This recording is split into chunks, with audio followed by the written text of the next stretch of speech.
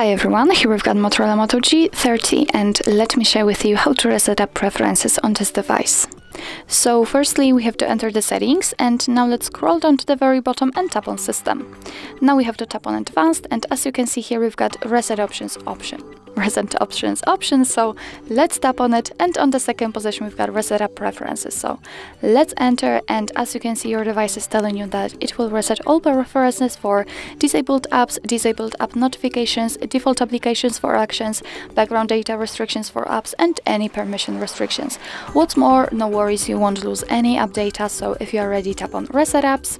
And actually that's all. This is how to reset app preferences in your Motorola Moto G30 thank you so much for watching, I hope that this video was helpful and if it was, please hit the subscribe button and leave the thumbs up.